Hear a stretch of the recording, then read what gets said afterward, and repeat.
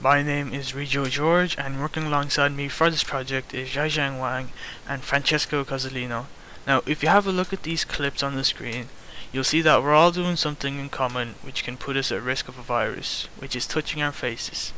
This is one of the ways a virus can enter our body and so we decided to engineer a solution for this. As a team, we came out with many different ideas.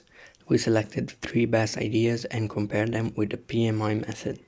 This method consists in putting down plus, minus, and interesting points about many solutions to be able to compare them and choose the best one. Our team chose this idea because it's one of the coronavirus prevention guidelines and it can effectively prevent us from touching our face. Our team thinks this idea is better than others.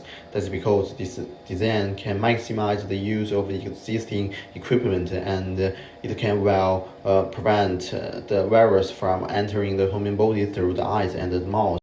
The differences between the two ideas are that the cup one works better as the sensor is placed directly above the face, while the other one could find some interferences caused by the movement of clothes.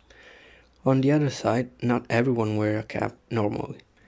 We can say that both ideas are good, but they have cons. The device is made by a breadboard that is stick with a box in the middle of the chest. The box also has a hole at the top to let the sensor work properly. The sensor so is directed straight to my face. In the exact moment something is touching my face, such as my hands, the sensor trigger and turn on the speaker that emits a sound. Our team uses the same sensor device for two models based on the same design concept, so we can use the same code to control the device's work. We use Tinkercad to track the equipment can work well, then we base it on Tinkercad to install the equipment.